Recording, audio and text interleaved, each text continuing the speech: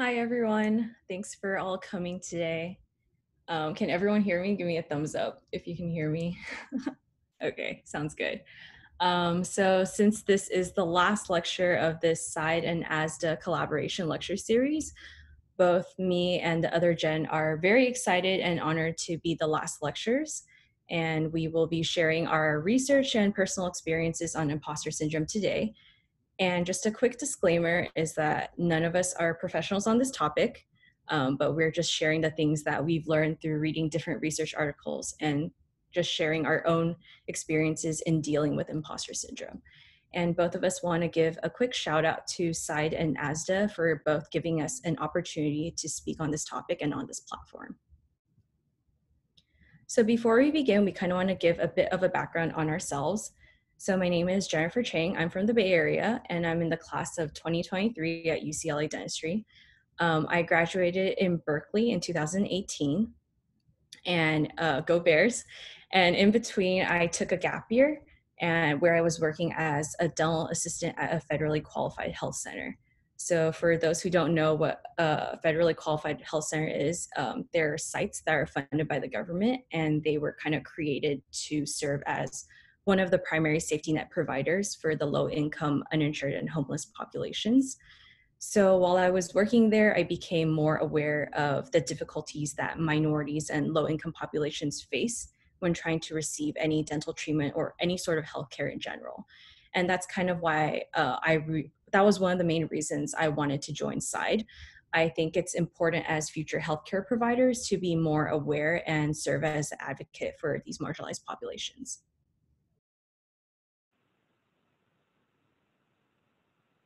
Hi, so my name is Jennifer Nguyen. I'm also part of the class of 2023 at UCLA School of Dentistry. I originally graduated from UC Irvine in the class of 2018. So, like the other Jennifer, I took a gap year. Uh, I'm originally from the Pasadena area, so I've actually never really left Southern California for school or anything, I guess, really. it's a big triangle. Like I came from Pasadena and then I moved down to Irvine and now I'm in Westwood. So I've never really left Southern California. Um, besides being a part of SIDE, I am the ASDA fund, one of the ASDA fundraising committee chairs. And the, one of the main reasons why I joined SIDE is because I was originally part of a student run free health clinic in undergrad. So we were able to see a lot of underserved populations that may or may not necessarily have health insurance. And wanting to learn more about my community and the different populations that need care is one of my main goals as a healthcare provider. So joining SIDE was a great opportunity for me to reach out and find more about, you know, LA and about the people that I can serve. So before we move on and I would like to go through our outline for today. So the very first thing that we will be talking about is what is imposter syndrome. So we'll be going through some of the definitions and one of the very first studies that was published about imposter syndrome. We'll go through imposter syndrome facts and myths. We'll also go through, we also want to go through and emphasize that you're not alone and that imposter syndrome is very real, especially as a pre-health uh, pre-health student, but also just as any healthcare professional. And we'll also segue again into imposter syndrome in healthcare. And we'll talk a little bit more about how it can impact us. So throughout the presentation, we'll be asking a series of questions that we would like for you to all participate in if you can. And then uh, it'll be anonymous, but we'll be sharing like the aggregate results at of the poll after each question. So let's begin with the first question. So the first question is, have you heard of the term imposter syndrome? So I'll be launching the poll right now.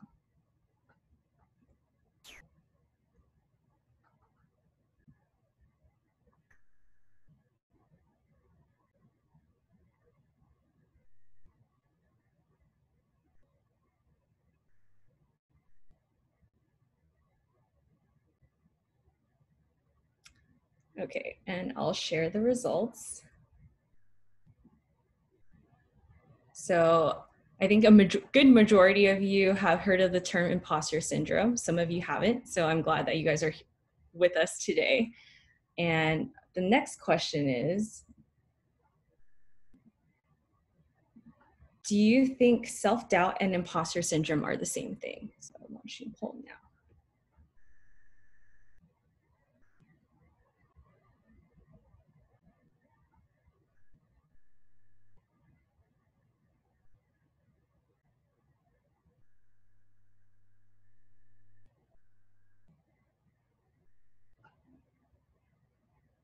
I'm going to share the results. And most of you guys don't think that they're the same thing. So we'll be going through a lot, we'll be discussing both of these questions in the next few slides. And thanks for participating as well. so for those who haven't really heard of the term imposter syndrome, uh, I want I want for you to ask yourself these questions. Have you ever had these thoughts? Can I manage and assign tasks to people underneath me? Do I deserve to be here? Or maybe if that doesn't, if you haven't thought of those questions before, maybe, you know, if you get a leadership position and then someone congratulates you and you just say, ah, no, no, no, I, you know, I got lucky, but thanks. Or I think this is happening to a lot of the D2s who are here with us today, but you know, we're in lab and then we're struggling with dentures, and then someone comes up to us and goes like, "Do you need any help?" And you're still struggling on your own, but you said, "You know, I'm good. I got this." And if that doesn't click a bell, maybe this will do. Sometimes you think to yourself, "I have no clue what I'm doing," but you know, you still continue and you successfully complete the task. So if you had some of these thoughts or feelings before, you might have potentially had imposter syndrome and so we'll go through kind of the definition of imposter syndrome right now. So the first people who coined the term imposter syndrome and defined it uh, was Clance and Imes, and they defined it as the psychological experience of believing that one's accomplishments came about not through genuine ability, but as a result of having been lucky, having worked harder than others, or having manipulated others' impressions. So currently, imposter syndrome is not recognized as a psych- psychiatric disorder in the DSM or ICD. So they're just like a manual for psychologists and psychiatrists to diagnose certain disorders. But imposter syndrome is correlated to other psychological dis- disorders such as anxiety and depression. And we'll talk a little bit more about it later on. So I want to st- start from the very beginning of the first research, research that and Imes did. So, you know, Clance and Imes, they were graduates, uh, they were professors, so they went through graduate school, then became a professor, and then they had thoughts of like feeling like an imposter, and they were, you know, they didn't feel like they deserved to be there, and then they started kind of interviewing other people who were in the same, like in the same, in their same shoes. So they started interviewing and working with 150 highly successful working females, and these female participants were you know people researchers with a doctorate degree they're respected professionals in their various fields. Uh, and above all they were they achieved academic excellence than the norm. And as Clance and Imes were interviewing them, they noticed that they had a lot of similar experiences among all these participants. Uh, a lot of them felt like they didn't deserve the success or recognition that they received. Um, they didn't think they were smart or successful, but rather they considered their success because they were lucky. Maybe they other someone made a mistake and they were there at the right time at the right place, or they just worked extremely hard. So they attributed a lot of their success to like being lucky or like external factors. And there are definitely a lot of successful people who experience imposter syndrome. So here's a quote for you. So, does anyone know who this quote is from? I'll read it out loud. Um, I have written 11 books, but each time I think, uh oh, they're going to find out now. I've run a game on everybody and they're going to find me out. So if you know it, you can type in the chat. I'll wait like 10 seconds right here.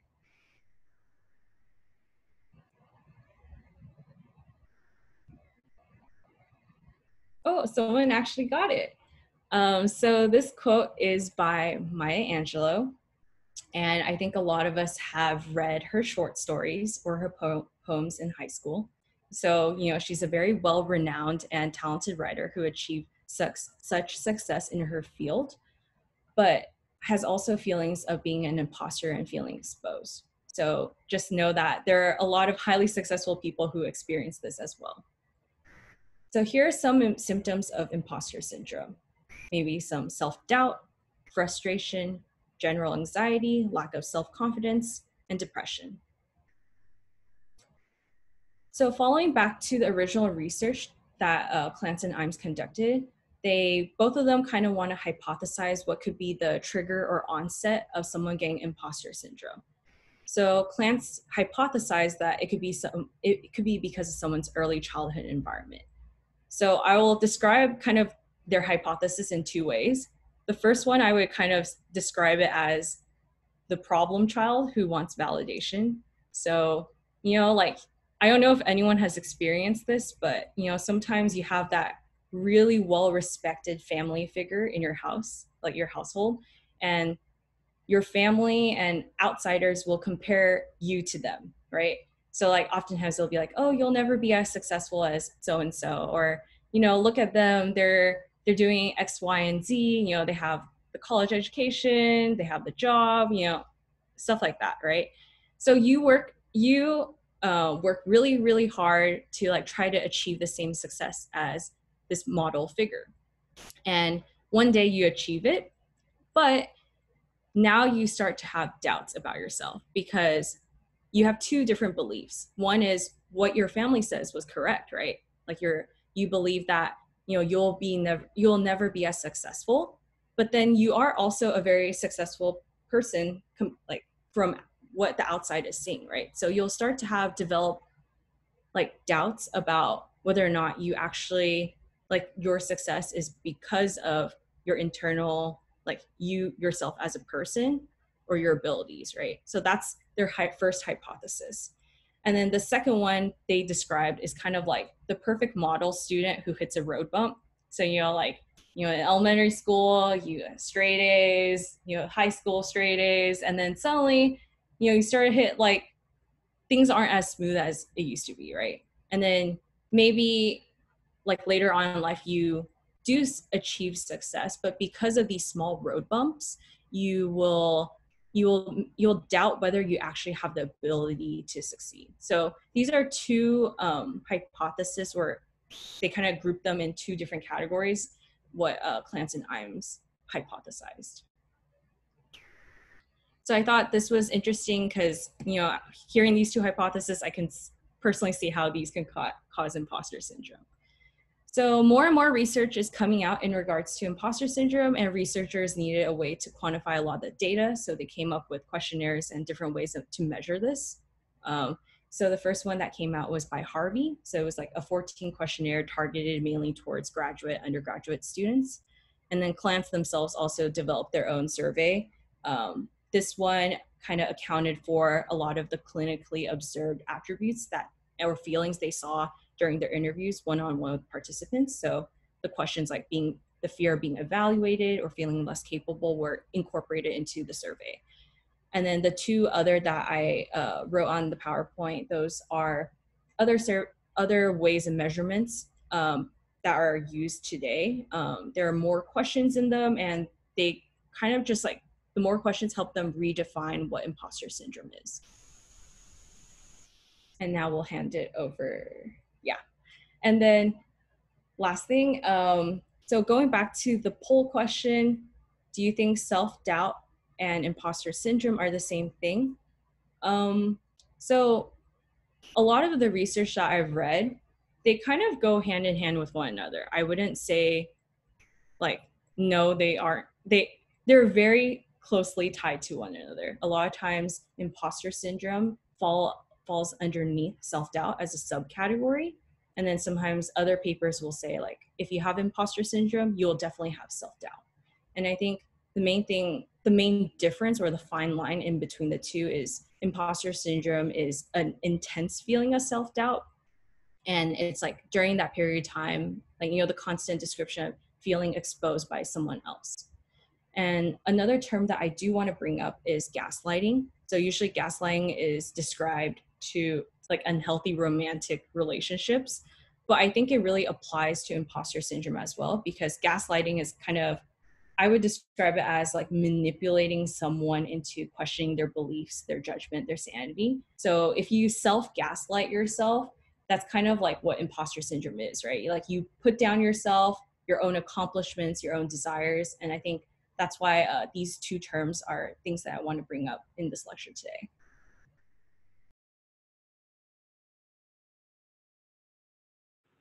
So we're going to move on to a, another poll question. Um, it's a true or false question. I would just like everyone to answer it to the best of their ability. Is it true? Is this statement true or false? Imposter syndrome only happens among working professionals.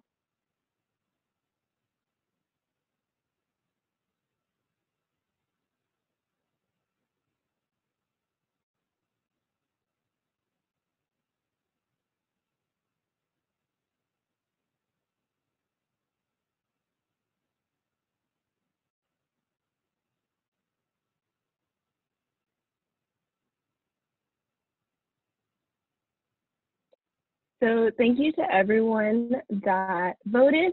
Um, as you can see, most people chose false and the statement is false. So imposter syndrome doesn't only work, doesn't only happen among working professionals. So I would like to share this other quote. I still sometimes feel like a loser kid in high school, and I just have to pick myself up and tell myself that I'm a superstar every morning so that I can get through this day and be for my fans what they need for me to be right? And this is actually a quote from Lady Gaga. I think it's really important to note that she is very extroverted and she's just every possible, almost outrageous thing that you can be, but like she herself also feels imposter syndrome and she at times feels as if she's not enough. And I think if you would try to ask anyone like who is the most confident person that you could think of at the top of your head, I believe a lot of people would say Lady Gaga. So again, I just want to go back to the true false question for a little bit. It's like even though like the statement is false, it's important to important to emphasize like almost anyone that you could possibly think of who has success could possibly have imposter syndrome. So going to a study um, about, or just going into an overall an overall look through through the types of populations that people have done imposter syndrome studies on. So the first one that I had noticed was the, there was Chayer and Bouffard who did an imposter syndrome study on fifth and sixth graders. 80% um, of the fifth and sixth graders that they surveyed had feelings of some sort of feelings of imposter syndrome. Maybe it's like self doubt or anxiety. And it's kind of jarring because if you think about fifth and sixth graders, they're so young. Maybe they're like 10, 11, 12 years old, and they already have these feelings when they're in school. Um, adolescents in general, by Caselman, they've been got they've looked at whether or not this population has imposter syndrome, college students and graduate students. Um, this study by Jöstl in 2012 82% of the graduate students that they surveyed actually had imposter syndrome, which I think really highlights like how even we as successful graduate students, like um, possible pre-health professional students, have a high chance of imposter syndrome. Professionals have been surveyed, people like nurses, doctors, physician assistants, they have all been surveyed and some of these people do have imposter syndrome. So our next poll question is another true false question. Um, imposter syndrome happens only in females.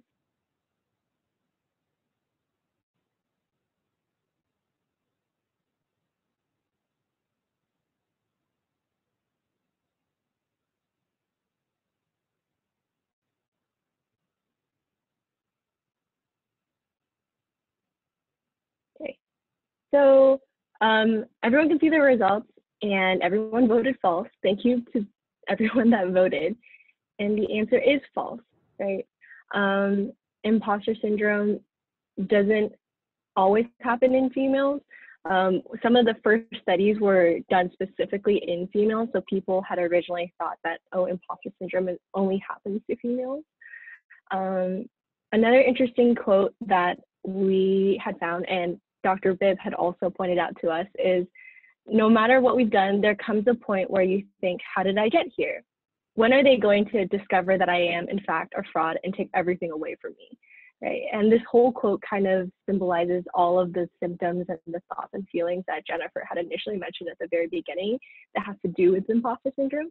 And this quote is actually by Tom Hanks.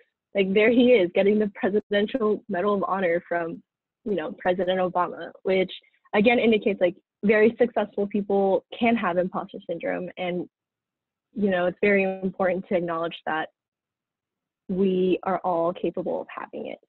Um, so in this study by Cokley uh, in 2015 they actually measured the differences between imposter syndrome in men and women. Um, so again to reiterate both men and women experience imposter syndrome. However they they tend to internalize it in different ways so women are more likely to equate academic success with GPA.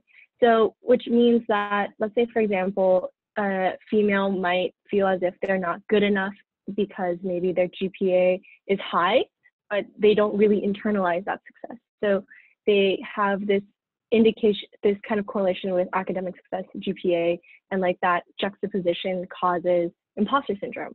However, men are more likely to experience academic disengagement.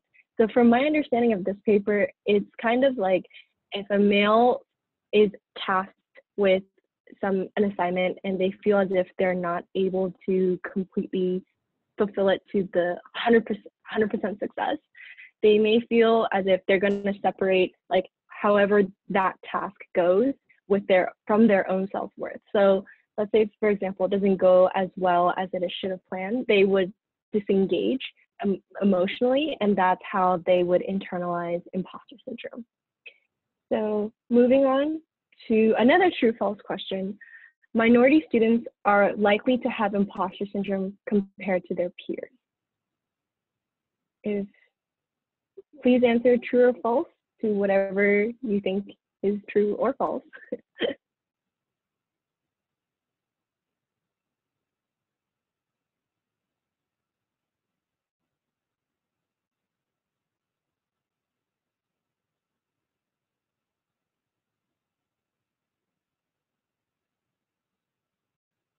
Okay, so about 59% people voted true. Thank you for everyone that uh, participated also. Um, so the answer to this one is actually false.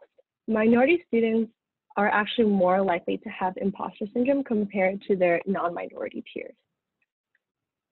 So in this uh, lit, lit review by Chen in 2019, imposter syndrome is actually very it's, it's in a lot of minority populations, including but not limited to African American students, Asian American students, and Latinx college students. Factors that predispose um, for these pre, that predispose these populations to have imposter syndrome include lack of ac adequate financial aid, and because of this, they might work to support themselves. Um, they may also face racial discrimination while they're in school, and in doing so, they would endure negative stereotypes. Um, some of these individuals might be first generation college students, so they have external stressors such as like being trying to enroll in school, getting financial aid, and just navigating the university system as a whole. So it might they are more predisposed to have imposter syndrome. Um, continuing from this lit review, um, they had indicated that racial and ethnic minority students are actually at a higher risk for psychological distress overall.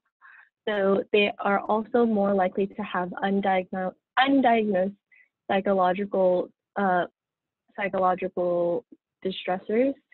Um, some of the barriers that would prevent them from accessing care include implicit bias, stigma, so you know stigma in minority minority communities in finding like psychiatric or psychological help. Um, differences in illness beliefs. Um, some minority communities may not even believe psychological, like psychological issues are a real illness. Lack of lack of cross-culturally trained clinicians. So this means that maybe an a minority individual tried to find um, help, and the psychiatrists or psychologists that they try to talk to may not know the nuances of their culture or like the barriers that they need to, to actually access these psycho to access psychiatric help. So all of these can actually prevent minority students from kind of understanding their own mental health and not necessarily finding the help, the clinical help that they need. So in conclusion, imposter syndrome can actually be further aggravated by all the previous factors that we had mentioned, such as first, first generation university students and you know lack of financial aid. So our next poll question is, uh, do you believe the intensity of imposter syndrome would decrease with experience?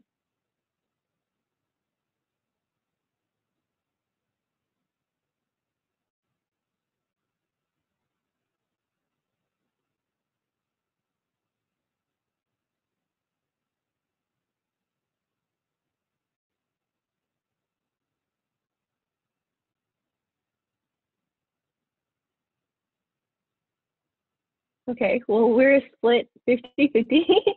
I actually didn't expect that. Um, thank you for everyone that voted, by the way. Um, so there was actually, it's actually true to an extent.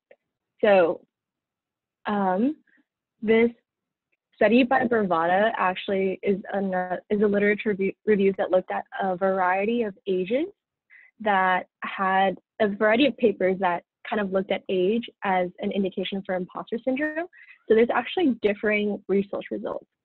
Research results, um, some papers had said they're negatively correlated. So as we all, as half of us believed, um, older and more experienced adults have less imposter syndrome, and others had said there's no correlation. So even as we do get older, we still will experience imposter syndrome. So kind of moving on from this, I wanted to focus more on us, right, as pre, possibly pre-health students, pre-dental students, um, and pre, or pre-doctoral students, I guess. um, in a study by Holliday in 2019, they actually looked at imposter syndrome in medical and dental students at Harvard, and they had indicated that the female gender is a strong predictor of imposter syndrome. And other factors can include gap years and age. So in terms of gap years, it can kind of go both ways, right? Um, they had hypothesized that you know maybe the more gap years you have, you the more um, real world experience that you may have in your desired profession, right? And so you feel less imposter syndrome. But at the same time, like if you take more gap years, you've been out of school for longer, you may not study. You may have like a larger learning curve and learning how to study compared to your peers that have gone straight into school. Um, again, with age, you know, it could go either way. um, um, you know, as you get older, you and you go back to school, there's also a possibility of having more responsibilities and maybe not having that same school or educational experience as your younger peers might have. Um, the paper also mentioned that the need for more female role models for certain students might be able to decrease imposter syndrome. So a more, a more in, another study uh, it actually is by LaDonna. It focuses on imposter syndrome and white coats. So this study actually says that imposter syndrome can occur at any stage of a physician's career. So this study actually looked at residents and students and being able to this this study actually struck a nerve with me because I actually haven't seen a patient yet as an incoming D2 student. But I think the hardest thing that I can see potentially about seeing a patient is that I don't know if I would be able to convince my patient to accept my treatment plan. And this study kind of brings goes along the same tones as in you know, in order for a patient to accept your treatment plan, to accept your diagnosis, you have to be confident, right? You have to play the role of a competent healthcare provider, right? And in doing so, like maybe you're wearing scrubs, you might be wearing a white coat, right? Um, but if you don't feel that confident on the inside, right, that can lead to imposter syndrome. So by almost like putting on this white coat and becoming someone else, you can perpetuate imposter syndrome within yourself. So it's important to kind of maybe realize those feelings like I did. but um, the paper also indicates that in order to kind of prevent this from happening, there could be some curriculum changes in, you know, healthcare professional schooling. Um, I think one of the important things that they mention is to discuss imposter syndrome while in school and kind of see where everyone is at because without having these discussions, no one knows what you're thinking, right? And it's and so by having these discussions, we are able to see like how how comfortable people are and that understanding that we're not alone. So these are the two last questions for the poll and just to we thank you again for participating. Um, so the first question is now that we you heard more research about it, now we have defined some of these symptoms. Um, have you experienced imposter syndrome? So just uh, the the same question as the first question is before. I'll launch the poll.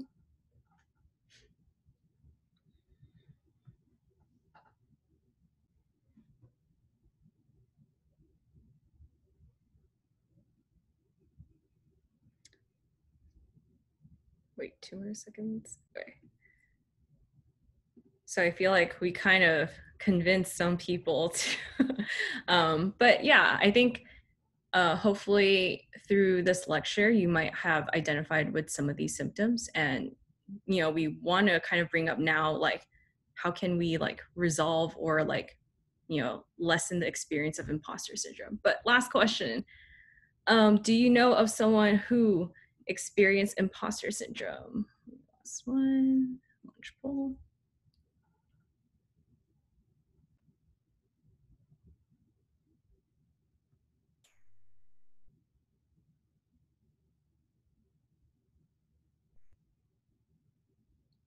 Okay.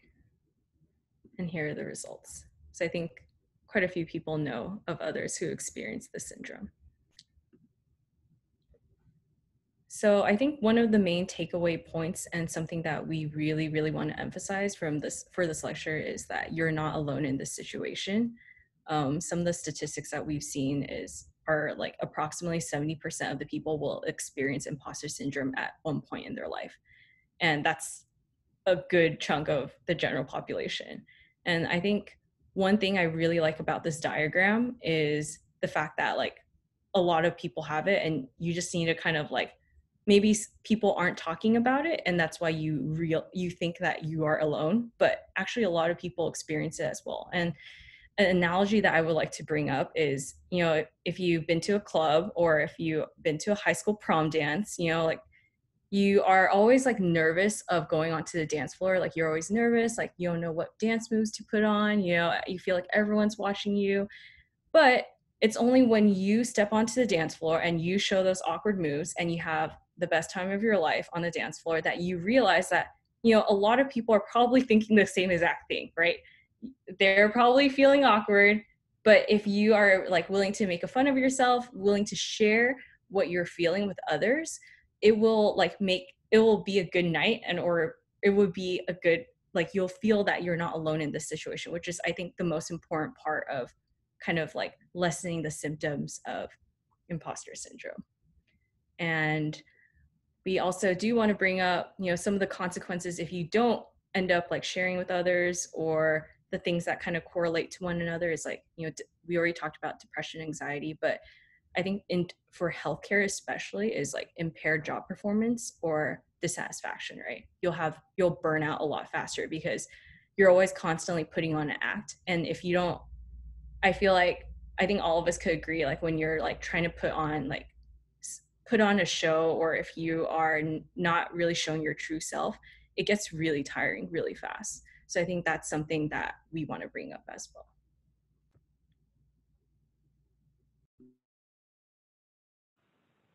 So, um, what exactly does this mean for us, right? Um, uh, what can we do about everything? So, there's a high, so based on everything that we've talked about so far, we would just like to reiterate that there's actually a high chance of imposter syndrome. amongst especially like people who are attending this lecture, right? Aspiring healthcare professionals, pre-doctoral students, and working professionals, imposter syndrome can happen to anyone. Um, it, there are external stressors for minority students, right? So lack of role models, if you're a first generation student, if there's cultural barriers to care, then there could be external stressors that would in, increase the amount of imposter syndrome that a person can a person can uh, have. and also, lastly but not leastly, it's important to acknowledge imposter syndrome. So we need to validate our fears with our peers. Uh, we can, in this way, we can understand its prevalence, like, and understand like who has imposter syndrome, and it may or may not be the people that you would expect. Um, and if honestly, if things are more difficult, there's also group therapy or cognitive behavioral therapy that um, an individual can seek out. So uh, to kind of end this presentation, I think it would be remiss to not mention that I also have imposter syndrome. I find it extremely ironic that I was given this topic and I also have imposter syndrome.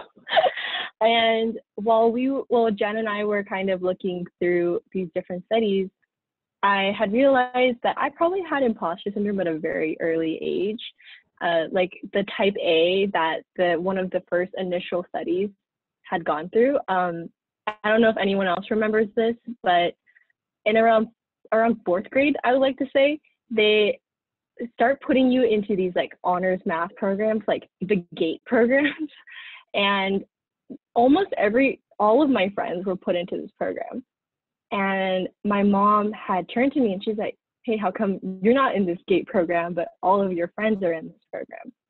And so I think from that point, I had started consciously and subconsciously started comparing myself to others. Like, am I doing everything that I can do compared to my peers? Am I doing all the extracurriculars that I'm supposed to be doing so I can get into a good college?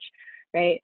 And then while being in undergrad, I think it really, it really, it really starts amping up, right? Because it's like once you're in undergrad, you kind of are with people who are like-minded as you, and especially in like a, you're in biology or some other pre-health major, you tend to start comparing yourself to others again, right? And understanding like, do I have a good score? Like, do I have a good GPA? Will I make it into this program? And I think while in undergrad, I actually learned more about imposter syndrome. I also didn't really know the term imposter syndrome like going into college, but understanding like what imposter syndrome is and how it can lead to burnout, it's also really important to recognize that everyone is growing as a person. Um, it's as as much as it is important to look forward, it all, it is also important to look back, right? It's important to acknowledge how far you've gone how far you've come, how much you've grown. And I really want to emphasize that you are enough. And sometimes it doesn't feel like you're, you're enough, but you are enough. And that you are all growing. We are all growing as people. Yeah. So, like the other Jen, I mean, I didn't have such an early childhood experience with imposter syndrome, which thank God. Um, but I definitely had it when I went into college. So like, you know, throughout your high school, you you see the same you see the same 200 people 200 people over and over. So like I feel like I felt, you know, I feel satisfied with what I achieved in high school like academically, extracurricularly.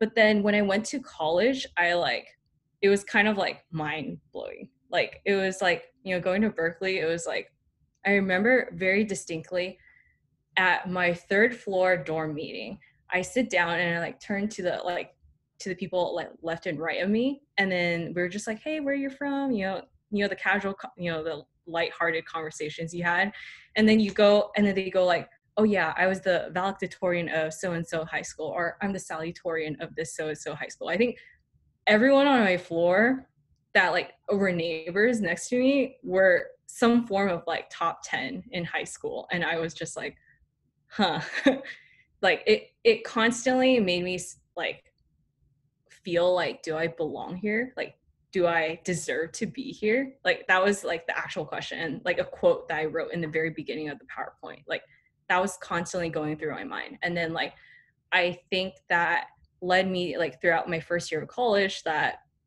I started having second doubts. Like I wouldn't apply for certain club positions because I didn't believe that I was capable uh, enough to lead some, lead a group, or I just like felt very like lack, lacking confidence is basically the way to put it, right?